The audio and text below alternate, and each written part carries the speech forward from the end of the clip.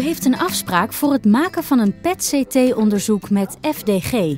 Het is heel belangrijk dat u op tijd op uw afspraak komt, omdat de radioactieve stof maar beperkt houdbaar is. Als u te laat komt, kunnen we de radioactieve stof niet meer toedienen en moet u een nieuwe afspraak maken.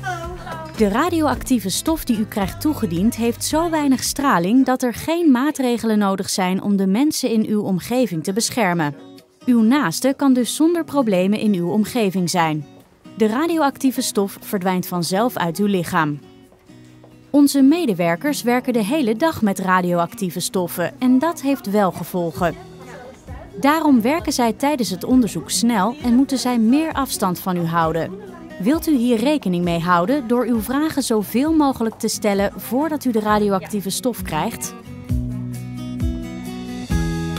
Voor het maken van de scan laat u alle sieraden thuis en draagt u comfortabele kleding met zo min mogelijk metaal, zoals bijvoorbeeld een joggingpak of pyjama.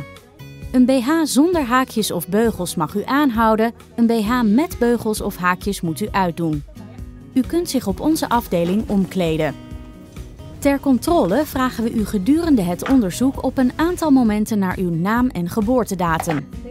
Bij de meeste onderzoeken krijgt u een incontinentiebroekje aan, omdat ongewild urineverlies het camerabeeld kan verstoren. De medewerker controleert of u de voorbereiding goed heeft uitgevoerd. U kunt de voorbereiding nalezen in de patiëntfolder van het onderzoek. Daarna wordt het infuus geplaatst.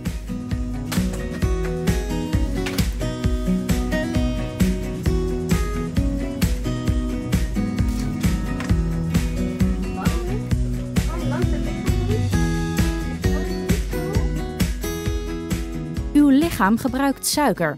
Een tumor of ontsteking gebruikt abnormaal veel suiker. Door u radioactief suiker toe te dienen, zien we dat er meer radioactief suiker wordt opgenomen op de plek van tumor of ontsteking. Als u het koud heeft of gaat bewegen, nemen de spieren en het bruine vet het radioactieve suiker op. Dit kan storend zijn op de PET-CT-beelden. Mochten er nog vragen zijn, is dit het moment om aan mij te stellen. Straks uh, werken wij sneller, omdat we de hele dag met de straling werken. Dus heeft u nog vragen op dit moment? Nee. Dan gaan we nu beginnen met de toediening.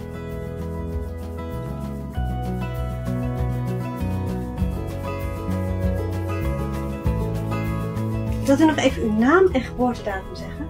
U krijgt via het infuus de radioactieve stof toegediend. Om te zorgen dat het onderzoek goed verloopt, is het daarom heel belangrijk dat u zich aan het volgende houdt. Blijf goed warm nadat u de radioactieve vloeistof heeft gekregen. U krijgt daarom extra dekens en mag op de alarmknop drukken als u het te koud heeft of als u hulp nodig heeft. Blijf na de toediening van de radioactieve stof drie kwartier stil liggen.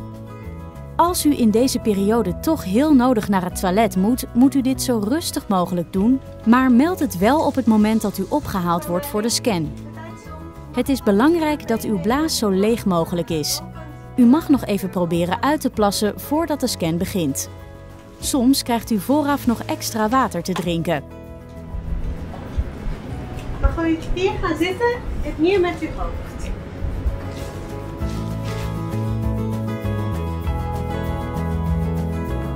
U ligt zo plat mogelijk op het onderzoeksbed, meestal met uw armen omhoog.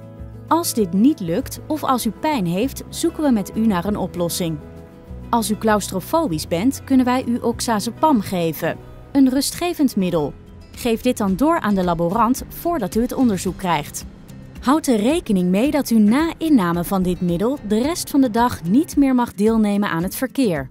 Mag nog even uw geboortedatum horen? Oké, succes!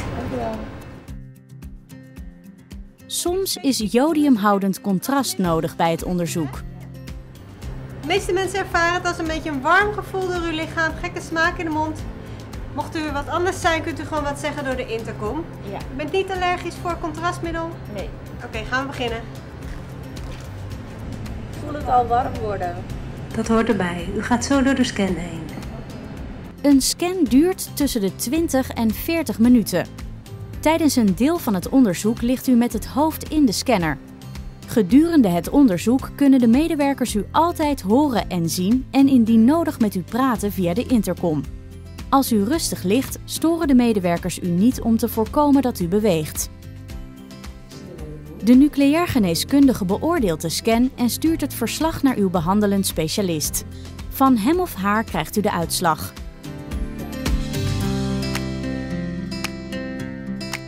Na het onderzoek blijft u nog een korte tijd radioactief. Dit verdwijnt binnen een aantal uren. Dit heeft geen gevolgen voor omgang met mensen in uw omgeving.